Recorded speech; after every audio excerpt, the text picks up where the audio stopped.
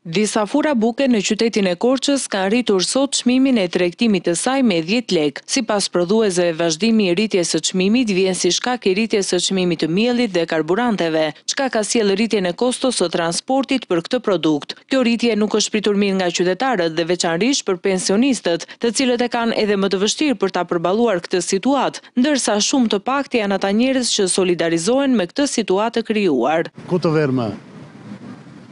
Janë të tëra te buka, buka një bukës, po qumështi, orizi, vaji, që patë trefishin, çfarë të bëjmë ne të shkretët, po gazi, nafta, gati janë bajmë.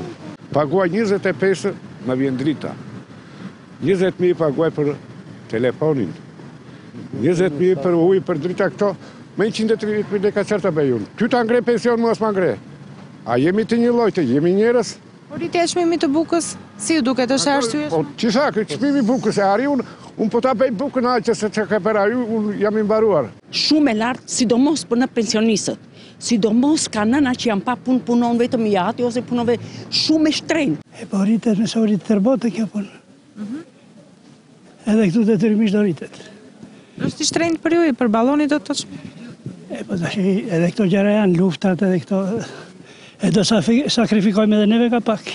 Në fund të muajit gusht çmimi i bukës shënoi rritjen e parë nga të gjithë prodhuesit me dhjetë lekë më tepër, ndërsa është një nga produktet kryesore të shportës së ushqimeve në vend dhe ka një peshë të konsiderueshme në shpenzimet e familjeve shqiptare.